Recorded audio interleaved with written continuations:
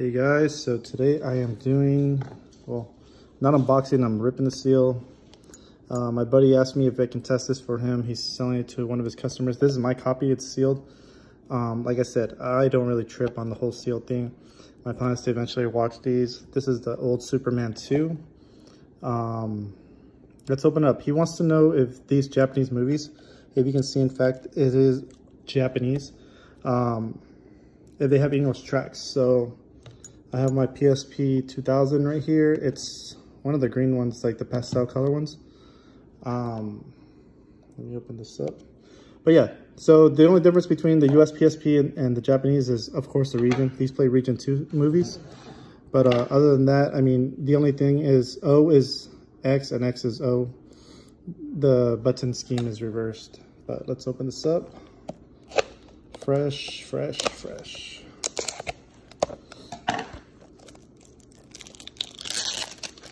And I know a lot of people say, oh my goodness, you're opening a sealed movie. It's a UMD movie, guys. I think we got past the whole sealed thing. All right, so fresh, crispy.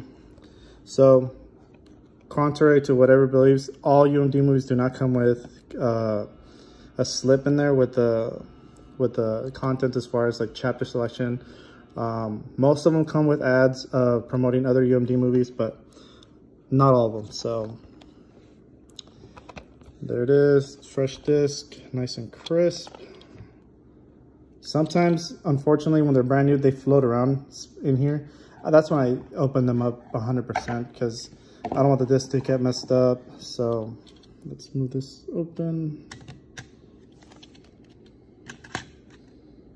And I get a lot of questions always about the PSP stands that I use.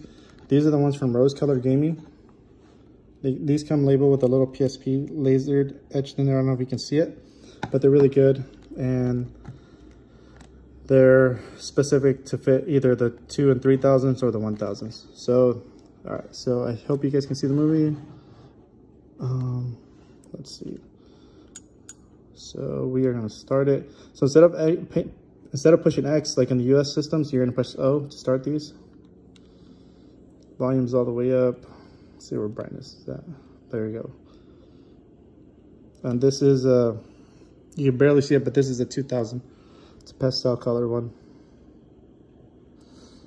So like I said, we're testing this to see if it has an English track.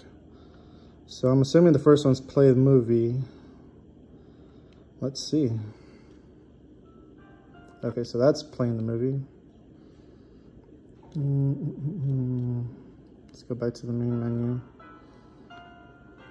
Okay, yeah, so audio options, English.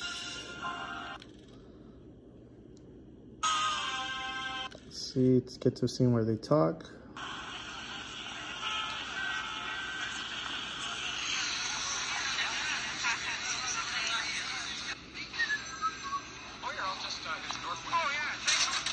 Hmm. So they are talking English, guys. So a lot of people tell me, how do I read the menus? Um, to change the language and stuff, if you can hear it, it's talking English. But to change the menus and stuff, you go to the triangle thing. The options are in English, audio options, uh, subtitle options, volume, screen mode.